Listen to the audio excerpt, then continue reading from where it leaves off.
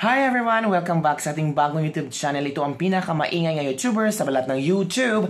Ako si Kabibig. Don't forget to like, subscribe, and share this video para alam mo kung ano ang latest trending news na ating pag-uusapan ngayon. Ano ba itong balita-balita na pwedeng ma makuha ang corona ni Miss Universe, Miss USA? Naku po, may mga intriga-intriga na ito dang may-ari ng franchise ng Miss Universe ay siya rin may-ari ng franchise ng Miss Teen, Miss Teen USA and Miss USA. Para daw, tawag dito, pang-utang na loob, ay kailangang manalo ang Miss USA para sa Miss Universe. Naku po, ano ba itong chikang-chikang ito? And pag-usapan din natin itong videong kumakalat ngayon na kung saan sinagot ni Chamsi Supsup ang mga paratang ng mga bashers na iniwan nila si Celeste Cortesi. Naku, sabi ni Chamsi Supsup, ano ba kayo? Wala akong ticket sa backstage. So, kailangan, so I, do I need to go there kahit wala akong ticket? Diba? Kawawa naman si Chamsi Supsup. Sabi nila na uh, parang pinipigilan daw ni Chamsi Supsup ang mga sisila si Cortez na i-express ang sarili and to be good in stage. Nako, sasagutin yan ni Chancy Supsup. At heto ang video, panoorin natin mga kabibig some of the things that I wanted to ask you was number one, talaga yung kumakalat na nung hindi siya tinawag na top 16 ay ikaw and the rest of the MUPH na Jonas and Voltaire ay nag-walk out kayo out of the venue. Can you clarify that? Is that true? No, not true at all. I watched till the end. That's why I am really saddened and mm-hmm. a bit angry to hear mm. malicious rumors saying that we walked out after the top 16 Mm-mm. because it is not true.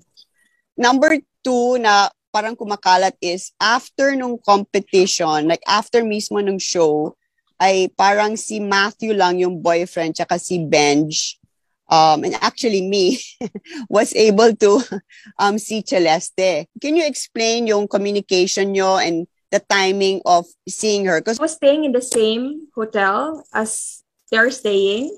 Yeah. So I went ahead because usually that's where we will see the girls right. in their hotel right after the show.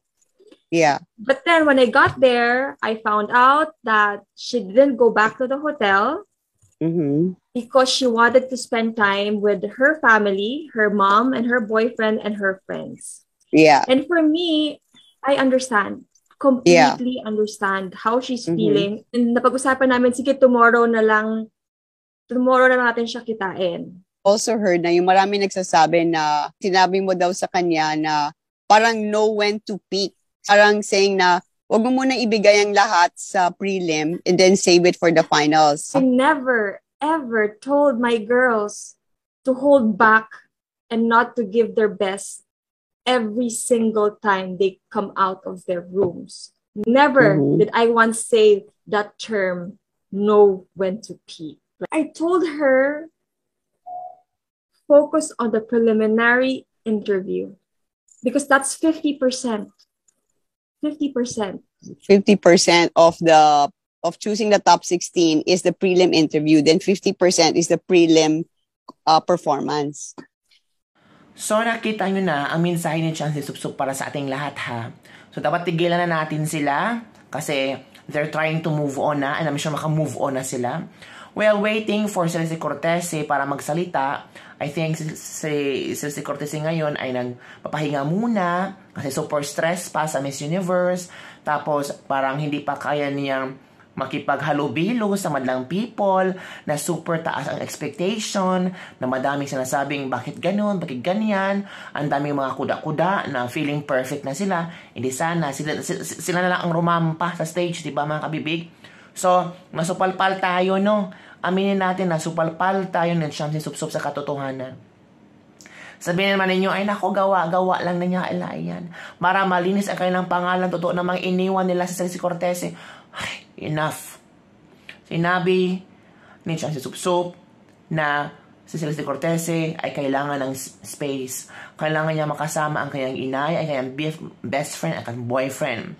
Okay? So tama na mga chika-chika dyan. Maghinday lang tayo kasi si Cortez na babalik sa Pilipinas. At ito pa, para masagot ang mga issue na pwede dang makuha or pwedeng um, tawag dito ma mawala ng corona si Miss USA tumahimik kayo sabi ni Anne hmm, ang may-ari at ng franchise na Miss Universe walang nangyaring dayaan hmm.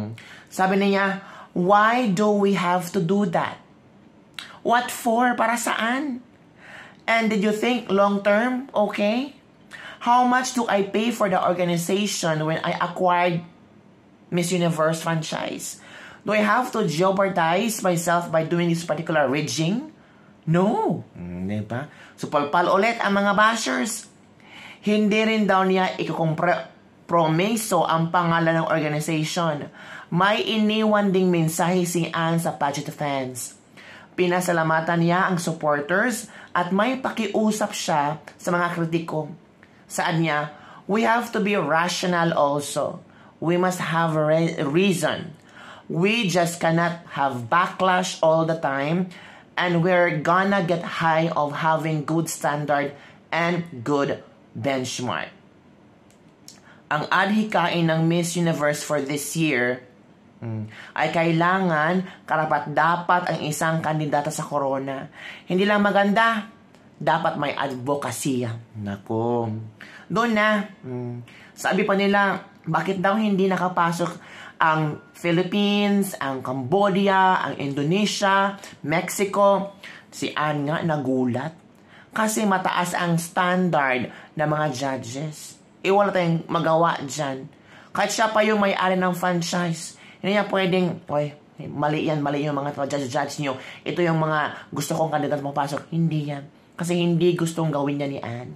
Kasi alam niya na kailangan talaga kung sino ang manalo, manalo. Sabi niya, That's why I think we have a good curriculum. I think we have a good term in terms of judging the beauty Olympics here. The beauty of humanity here.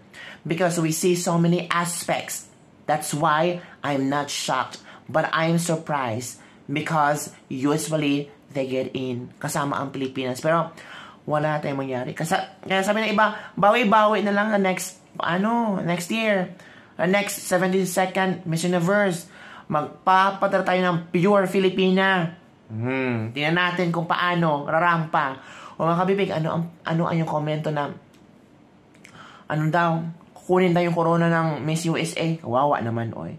Write on your comments below and don't don't you ever think na hindi mananalo pa ang Pilipinas sa Miss Universe. Mananalo pa yan. Di ba? Di ba? Pure Filipina ang magpapanalo sa Miss Universe sa Pilipinas. Bye everyone! See you next time!